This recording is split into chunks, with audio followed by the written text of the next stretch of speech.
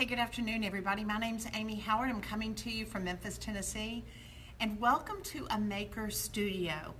We are in a pre-pre launch right now with this incredible new company. If you don't know about us, you need to be sure and check us out. Look at all the different postings and things that we've been doing. But this is a sister company of mine that I'm wanting to teach makers how to be able to have their own business and how to empower them by having all these different products and things available, as well as their own website to be able to sell from. Um, the opportunity to just really focus on what it is that they love, and that's creating and connecting. So, today I wanted to tell you several things. Um, one thing I did want to do, just a little promotional. If you're not familiar with my new book that came out May 8th, um, it's by Abrams Publishing, and it really is um, an incredible how to book. Um, it's kind of a hybrid because it's a cross between being a how to book and being almost um, an inspirational cocktail table book. And somebody asked me earlier, they said, Why should I read your book? And I thought, you know, honestly, um, a lot of people don't know, but um, at one time I was a single mom and I had to rescue furniture and I painted it and it was a way that I made a living. And so I had to learn the processes and create recipes that really set my furniture apart. That was in the very beginning when I was rescuing and restoring and redecorating furniture. Um, I had to create the different looks, what each of those pieces needed to have. And along that journey, I was able to start uh, designing and manufacturing furniture, which I did that for 23 years. I had about 28 showrooms across the country and um, actually designed and private labeled uh, the manufacturing of furniture for a company called F. Schumacher.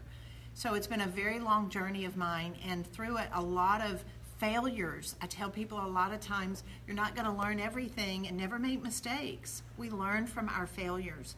And through my failures of finishes and creating techniques for them, the successes that I put together that became my consistent go-to recipes, I've put in this book.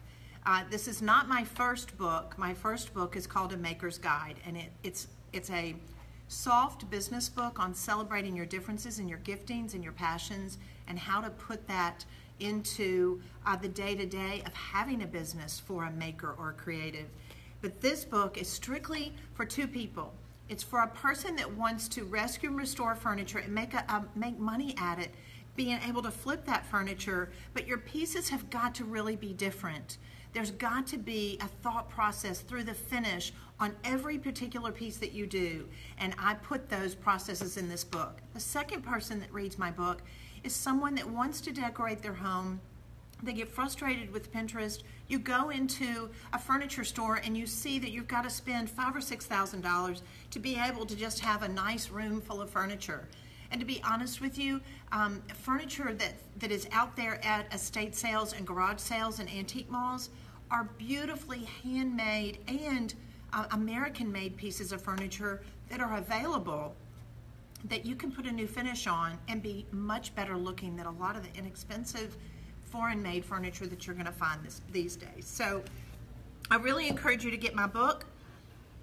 And um, it's on our Facebook page with a link. And you can go to your maker studio, find your maker, and they are selling the Rescue, Restore, Redecorate books on their website. So contact a maker today. And if you're interested in becoming a maker, we want to hook you up with someone um, that's a team builder and they're there to be able to really connect with you, have community, and walk with you in this creative journey. So, one of the things that I really want to kind of go over today a little bit more is chalk art and the diversity of it. Chalk art is not chalk paint. Chalk art is something totally different. So, a lot of you are out there and maybe you have been familiar with a chalk paint finish.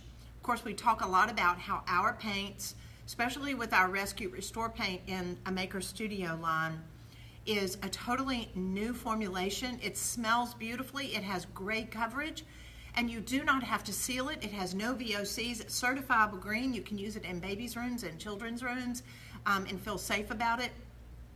It's totally different than chalk art. Chalk art is just what it says. It is a chalk composition, but it is removable. It's washable. Yes, you can paint with it, and I do do that, but this is about creating artwork with stencils that we have created. If you haven't watched any of my videos before, within a maker studio, we're all about projects. We're all about empowering you to be able to decorate your home, what we call crafting a beautiful life, with all of our brushes, with our stencils, with our stamps, the things that you need that go along with chalk-based paints, and something as incredible as the chalk art. So let me just show you, I have a Masonite board here that I have painted already with our black Rescue Restore paint.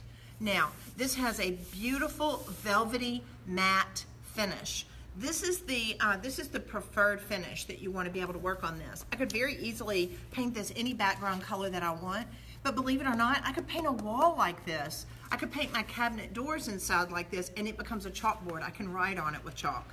So basically what I'm doing is I'm going to be taking my stencil here, which I love, which it's called There's a Season for Everything. This doesn't have to be something that you use at Christmas. Um, this can be something that I can use all year round. And depending on the color palette, maybe I'll do it for fall. Something that I'm doing right now in the color palette, I'm doing a green and a blue and a white. And I think that's much crisper. It's pretty for summer because everything's green, everything is alive. That's part of the reason why I've chosen this particular color. But um, look at this piece over here. This is another example um, of one of our stencils here at a Maker Studio. This is Home is Where the Heart Is. Love this. This is by a beautiful designer. Her name is Dana Tanamachi. She's a maker and she is a chalk artist who is incredible and this is one of her designs that we have exclusively uh, through um, a maker studio. We have licensed um, her designs to be able to have on our tri-mesh stencils. So look at this color. I did the background with Southern Gentleman, which is a beautiful dark gray, and I came on top of it uh, with three colors of a green, a pale blue, and a white. So you'll notice I seasoned over it with this blue. Now, now you'll notice here, not only did I use this particular blue in the uh, word heart, but I also used it on painting this edge. So because you can wipe it away, I came back and lightly sanded it so it wore through so I was able to see the Southern Gentleman color underneath. So it's a type of distressing, a really authentic look uh, that you can get. So I wanted to show you that and just how different it can look with different colors. Now, what I'm getting ready to show you is this one over here, so that way you can look at a close-up. There's a big difference between that home is where the heart is stencil and this one. Look how it's gradated. Look how it's a mixture of all these different colors. So um, while this is very summery, maybe in the fall, I might do it a combination of browns and oranges and coppers and golds. I'm going to make an announcement to you. Now, this is our open group of people. This is the public that sees this. I do training for all of our makers that are part of a maker studio on Mondays, and I, I give them little perks and knowing when things are going to be new and up and coming. But this is some of our new metallic chalk arts. So this is a beautiful copper, we have gold, and we have silver. These are, they look metallic, they look oil, they look expensive, but these are water-based chalks that are metallic. So you can start using that on all these different finishes. You can paint with it. Um, if you're an artist and you like working with mixed media, it's definitely something that you're gonna fall in love with. So these are the three colors that I wanna be able to work with today. Um, this is my white, this is pink and joy. Uh, this is the blue that I'm working with, which is called cute as a button. And then my green here is called hey good looking. So yes, I have fun uh, naming things. I think it's part of, uh, it's, I just say it's one of the perks of my job. How's that? So, um, so what I'm gonna be working on, there again, I've got my board, my Masonite board that I just uh, painted with the black Rescue Restore paint. I did one coat, I did roll it on, I've allowed it to dry for about 20 minutes and I'm ready to go. You'll notice this tri-mesh stencil has an adhesive to it. I can use it multiple times. So I'm just gonna press it down, that way I can work on it and it's not gonna come up. It's attached. So that way if I was working with Mylar, I would never get the detail that I can with these, um, with these tri-mesh stencils. Now look through here. Can you see through? You can kind of see some of the color because we've used this many times before. But there is not a cutaway. It's literally like silk screening. We say this is like stenciling, but more like silk screening. So that's a mesh right there. And this chalk art is gonna go through that mesh that's gonna give you art that literally looks like you were this experienced chalk artist that did it. You know, the great thing about it is if you're a crafter, if you're a maker, if you love doing, um, if you have an Etsy shop or you like doing um, craft shows and you resell your art, this is perfect for you because this framed would look like a very expensive work of art. Um, or maybe you keep it in your kitchen, you put it in a frame, or just have it posted up like this or on a shelf. Um, depending on the, as the seasons change, at Christmas we'll do this in red and green, and then we'll change season and everything to gold. Um, in the fall, we're going to change it out and make it look like fall colors, like we talked about with the orange um, and the copper. So it's fun to know this is something that you can continually um, change up and display. So let me let me walk you through this process. So this is a blending process. So I'm going to have three different spreaders. You can use your fingers with this. You can use um, a credit card, a lot of different spreaders. It's, it's gonna be um, one of the easiest, most rewarding things that you've ever done. But I'm gonna go into here and you'll notice how I'm just gonna randomly lay down some of this chalk art. Now remember, this is removable, it's water-based, it has no smell, you don't have to worry about it. This is also a fun project that you can do with your children. They think this is a blast. They're amazed at themselves. It's very calming. All right, so I just laid in some of my green. Now I'm gonna come back with uh, Cute as a Button, and I'm gonna lay in some of my blue. So you see, this is all I need. This can do a lot of projects. So I'm going to just kind of fill in, but look how I'll lay it down and I'll leave just a little bit of a blob there because that way when I come back and I start smearing this all together, it's gonna blend together and create another color. So I wanna make sure that I have a little bit of excess on each area. Now I am live. This is uh, Wednesday afternoon at three o'clock. So if you're watching and you have a question, uh, please um, just ask ask away. That way I can answer them for you. All right, look who's come in here. Come here, Gracie. Come here. All right, look at this. So,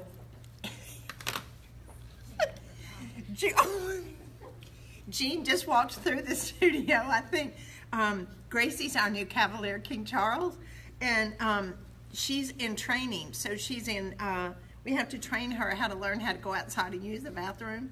So she comes through here sometimes and she starts nipping at my um, at my feet. So I just thought I would introduce. If you saw me a few weeks ago, I introduced Gracie. Look how much she's grown. Look how long her legs are. Gracie, can you say hi to everybody?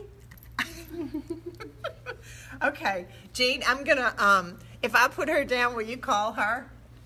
Okay. All right. So um, we're dog people. So if you just wonder that way. Um, I, we like bringing our dog to work, but um, actually I think she left a little present in the art room earlier, and Danielle was telling me that, uh, look, we've gotten another present from Gracie, so it's just part of the joys of having puppies. All right, so now I've got my, my white chalk art. Remember, this is not chalk paint. This is chalk art.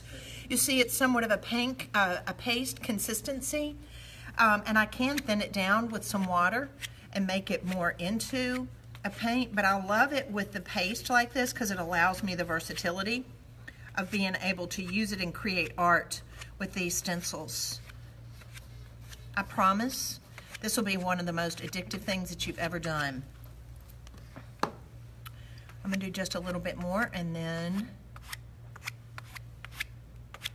I'm finished.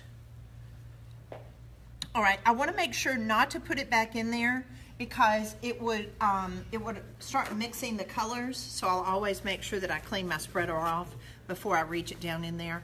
Now you'll notice look and see how I've got all these little dollops everywhere. So when I start coming back with this flat edge of this spreader, I want to make sure that I stay off of there is a season for everything. I, as I'm blending and as I'm creating um, this kind of ombre effect, it's really important that you don't do that on everything. It'll take away um, the impact on it being more solid here. So I'm just gonna come back in and we're blending it.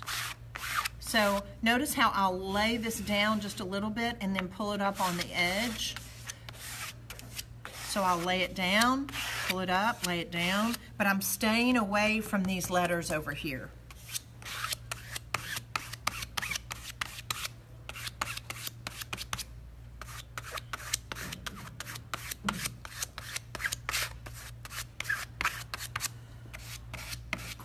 It is this is water-based. So if there's an area and it gets over and you don't like it, you just wipe it off and do it again. Cool thing too about these stencils is that I can, um, I can wash them and use them over and over again. You don't have to scrub them. I'll just take them over to the sink, blend it with just a little bit of um, water and soap, pat dry it, and then put it back in its container. All right, so I'm gonna come back and I'm going to clean this off with my paper towel. Because I'm doing that because I don't wanna mix it. I like being able to use um, solid colors on my letters. I think it's easier to be able to um, be able to see it. So I'm gonna come in with theirs. There is a season. I'm just gonna do the A and this little fleur-de-lis area around it. Not fleur-de-lis, it's more of acanthus. All right, I'm just gonna turn this just a little bit.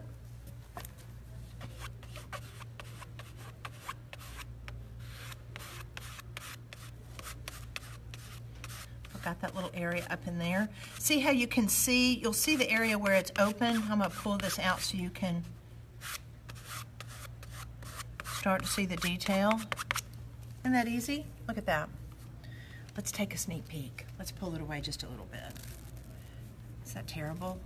Ah, look at that. See how there's some of the blue and the green and the white? Oh my gosh, guys. See how exciting? I, no matter, it doesn't matter how many times I do this, I still, now look at the detail. You could never get this kind of detail with just a regular stencil. This tri-mesh that is patented, it allows you to be able to do that. Look at that. Like you're this master craftsman that has practiced chalk art for their entire lifetime. Now you're able to do this. All right, so I don't want to mess this up. I'm going to lay that back down. And I'm going to come back. Um, I think with season and everything, I'm going to do in white. So let me clean off. Let me clean that off. Now see, if you were part of a maker studio, you could be uh, going and having gatherings and showing people how to do this and um, see how much fun it can be. So I'm going to come in here. Looks like I got my blue over on just my, my S just a little bit. And if I was doing this and I, and I wasn't trying to teach you guys on a Facebook Live, I would probably take my time just a little bit more. I'm going to probably go in and finish it out in the white. Because if I was doing it by myself, though, and I wasn't trying to show you, I'd definitely take my time and mix it with some more colors. And I might even come back with the new metallic gold chalk art that we have because I'm totally addicted to it. All right. So you see how little, if this is clean, I can come back and add it back in there. Um, I use very, very little of the chalk art. You do want to make sure that you keep your, um, your tops on them where it doesn't dry out because that way you can use these for a long, long time. All right, so I'm going to pull this up and we're going to have our reveal. Let me turn it, turn it around. It'll be upside down, but I'll turn it around for you. This is the exciting part, being able to see just how simple and easy it was, but how professional it looks. And believe it or not, if, like I said, if this is something that you or as a maker want to be able to do, you can frame these and turn around and resell them because I can wipe this off with water and I can do it again.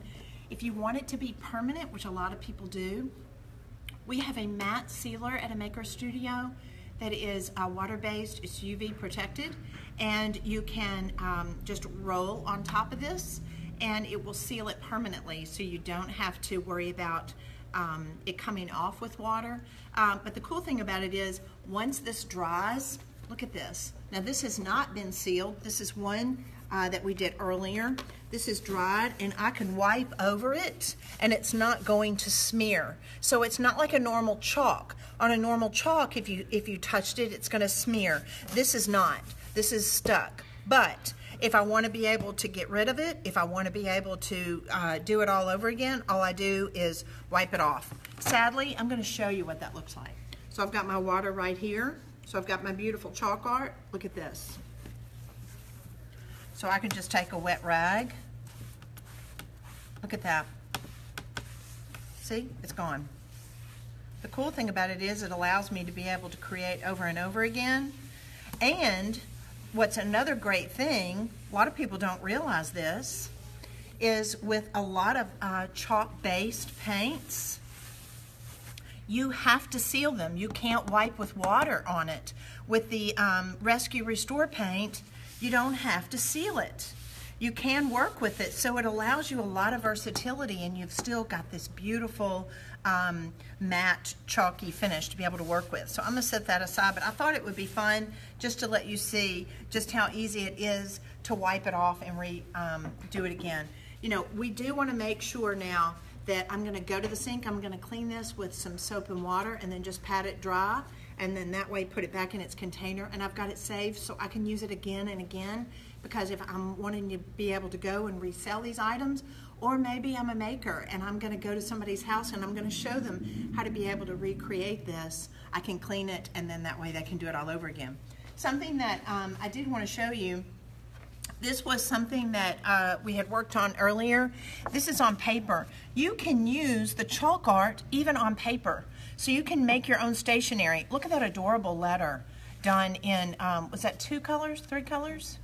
Isn't that adorable? So when you've written a note to somebody, or maybe I, I sent some books to someone um, uh, as a thank you note uh, at the Today Show, and um, we made one of these cards here, so I was able to write inside it, so that way when they see it, they know that um, it, it came directly from us and that it was hand done and there was a lot of thought put into it. That's what makes a maker studio so fun. It, we have um, and are continuing developed um, products that you can really, uh, what we say, craft a beautiful life. You can make it very custom. You can get together with friends, um, and you can make things that no one else uh, would be able to to have because it's part of enjoying the bragging rights. So look forward to seeing me here every week. I'm going to share projects and things that we're doing in our test kitchen here at a Maker Studio. If you have any questions, if this sounds like something you might enjoy about having your own business, please get in contact with one of our makers at a Maker Studio. And uh, we look forward to hearing more and sharing more with you. Have a great day, guys.